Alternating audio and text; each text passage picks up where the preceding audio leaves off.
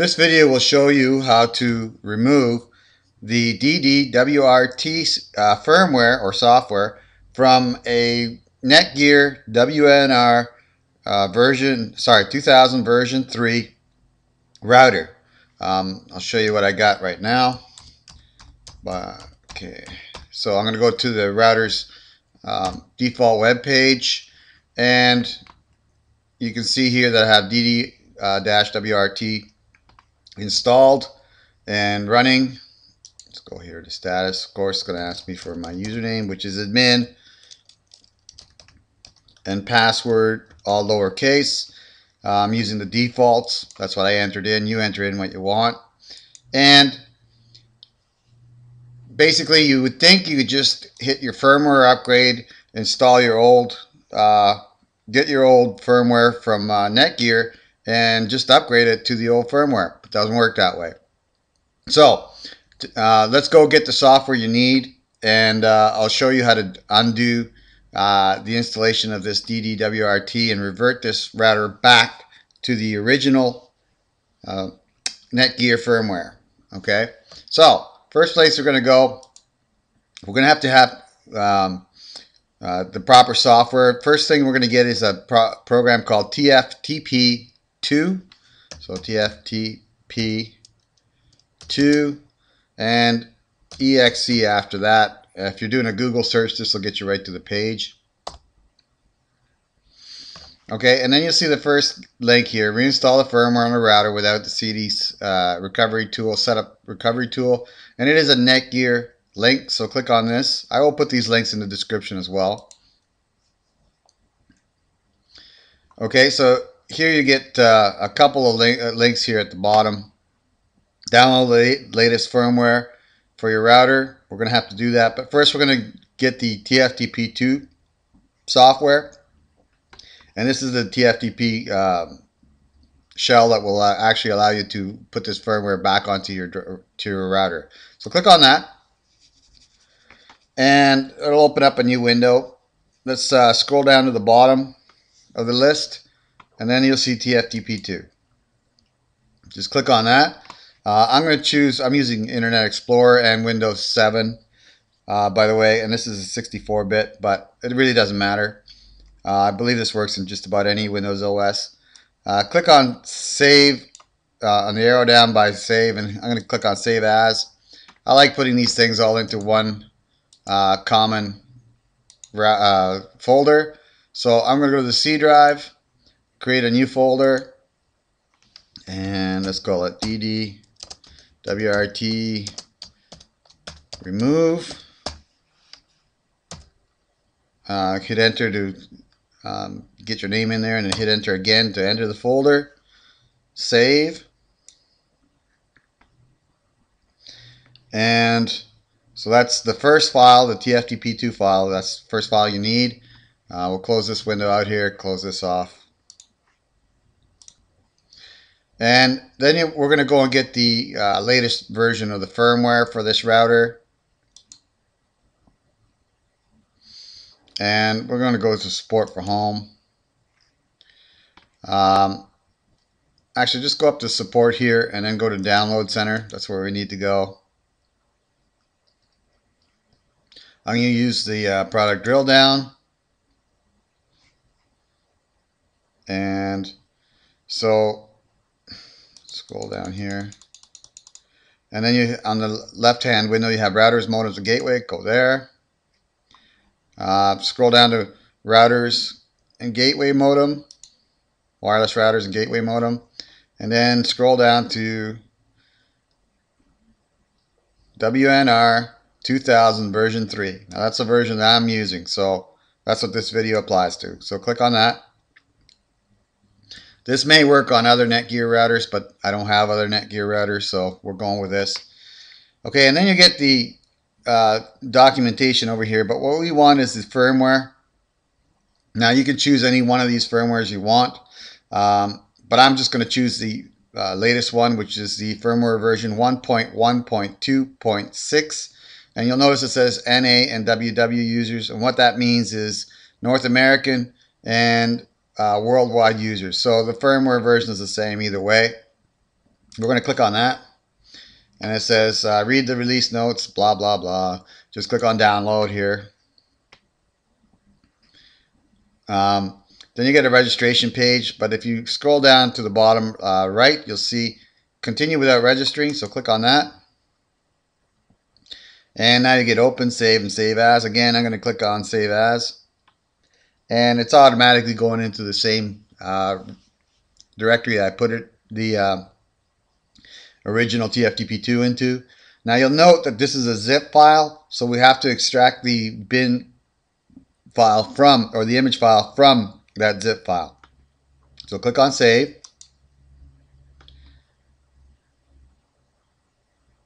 All right, so now we've gotten all those, uh, uh, both of those files downloaded. These are the two files you need to downgrade this router back to its original. So I'm going to just click on open folder because we've got to take that, uh, open up that zip file. So we're going to open the folder. As you can see, TFTP2 is in that folder, and then we got a zip file. Just double click the zip file and then highlight uh, by left clicking on the uh, image file WNR 2000 version 3 dash uh, v1.1.2.6 uh, img dot img. Just right click that, click copy, go back to your original directory, and then then uh, click on the white anywhere. Then right click on the white part of the screen and click on paste. And now you have an image file, uh, the image file in the same directory as the TFTP uh, file. Okay, so we now have all the software we need to downgrade or to uh, return your router back to the original Netgear software and the latest uh, image that they have available for their firmware. I'll close this window, close this window, and at this point, uh, I'm going to show you how to, uh, number one, hardware, uh, sorry, physically set up this router correctly by uh, putting it, the network cable directly into the back of the router and um, also how to set the router into its passive TFTP um, boot mode. Okay, make sure you follow those directions carefully. After that, I'll show you how to uh, put this uh, firmware back into the router and have it all initialized again. This is the Netgear WNR 2000 version 3 and I'm going to show you how to place it into a boot mode that allows you to send a firmware package to it through TFTP. Um, on the back you'll notice all the ports and to the uh, right of those ports there you'll see that there's a, a little red dot. Now that's the reset switch. Uh, if you take a screwdriver or a paper clip uh, or any kind of object that fits in there you'll hear that you, you can hear the clicking of the reset switch, okay? Just like that. Um, the, the thing you need to do is place your object in there, hold it down, and while you're holding it down, power up the router, and keep holding that pressure down on that. Then you'll see that the amber light on the power will go on. It'll flash but eventually it's going to turn green.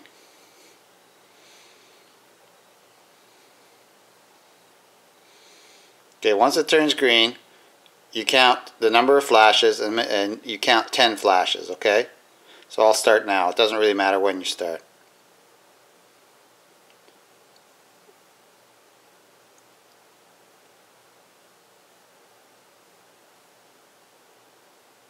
And once it flashes 10 times, then you can remove your um, screwdriver or paper clip or whatever you were using and the device will stay in that state.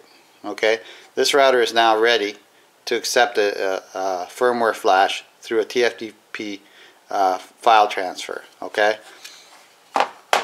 So your next step is plug it into your laptop with a uh, network cable and make sure that you do this on the LAN ports, not the WAN port. Otherwise it won't work. Just choose any one of the uh, LAN ports and then just plug the other end into your laptop or your computer if you have a computer instead of a laptop. And that's how you set that up. So now that you've got your router connected to your computer or to your laptop. Uh, I would also suggest that you've got your laptop plugged into the power supply in the wall, into a wall, not using the battery. You wouldn't want your battery to die in the middle of this. Um, you've got your network cable hooked into your router uh, and it's in the passive TFTP mode. Next thing you need to do is make sure that your network um, configuration is correct. So go, I got my wireless on down here. Um, I don't know what you have for a network, but just right click your network uh, connection down here.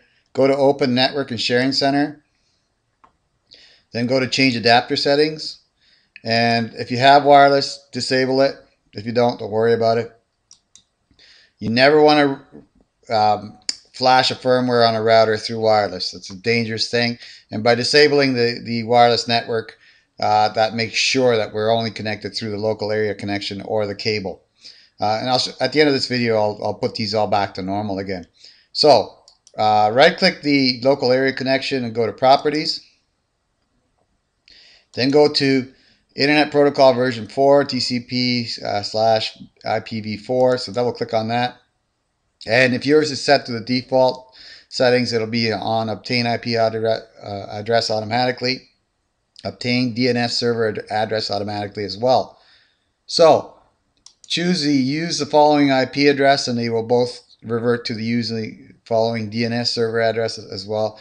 Um, we're going to use 192.168.1.10.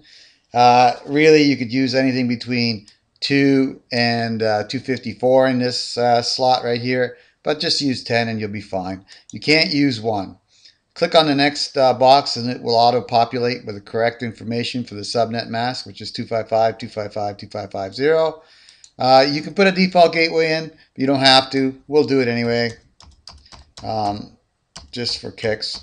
And the default gateway is the same IP address as your router, which is 192.168.1.1. And that's the same on the DNS um, if you wish to put it in. You don't really need to, but what the heck. Okay, and then click on OK. OK again. And now you've got a, a hard set IP address on your network card, which is or network adapter, which is what you need to do this correctly. So we're going to close this window off. Uh, we're going to go down to uh, my folders here, go to the C drive and uh, DDWRT remove folder, open up my TFTP2, click on run, and mine's already populated, but it, the, the IP address is the same. It's the same as the router, 192.168.1.1. Uh, you don't need a password, so leave that blank. Here, I'm going to remove this information so that uh, I can show you how to get information in there correctly. Click on this box next to it, and uh, then we're going to go to the C drive and down to DDWRT remove. And then we're going to choose the image file that we want right here. And click open. Next, we click on upgrade. And you should get that blue progress bar. If, if you don't get that blue progress bar, you probably haven't done one of the steps correctly. Just uh, check again. Make sure you set everything up correctly. Uh, obviously, I was successful here. So, you know, my router has now been reverted back.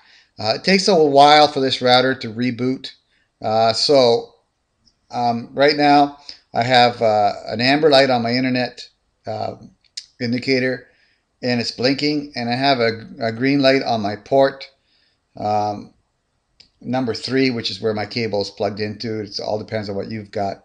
I'm going to do this real time so you understand how long this takes for this router to actually reinitialize itself. Now I have an amber light on my power a blinking amber light on my internet and my port light is uh, flashing green. So I'll just wait here.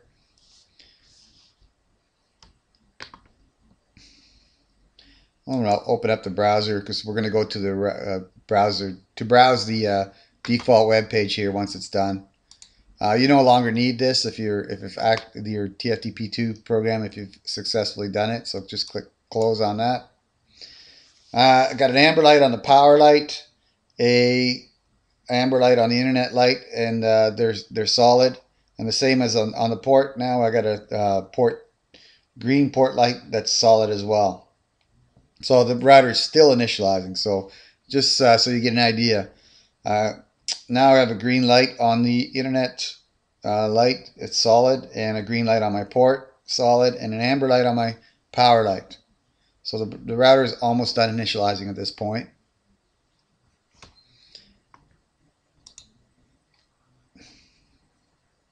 I think a lot of people, when they're doing these uh, firmware upgrades, don't give the router enough time to initialize and they panic and just start doing crazy things with the router. All right, so now I have a solid green power light, a solid green internet light, a blue wireless light, a uh, solid port light, and the WPS light is back on again on the WPS switch. So at this point, the router is initialized. I'd go to it 192.168.1.1 in the address bar and you will get this page, uh, which is uh, basically the um, default uh, uh password and uh, you sorry the SS. This is a default page you get when you turn on your router first out of your out of the box, which means you've been successful. Okay, um, you can go through this stuff or hit print or whatever.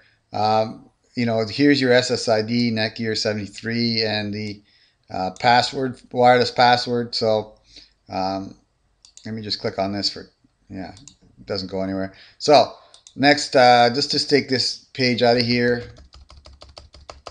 go back to 192.168.1.1.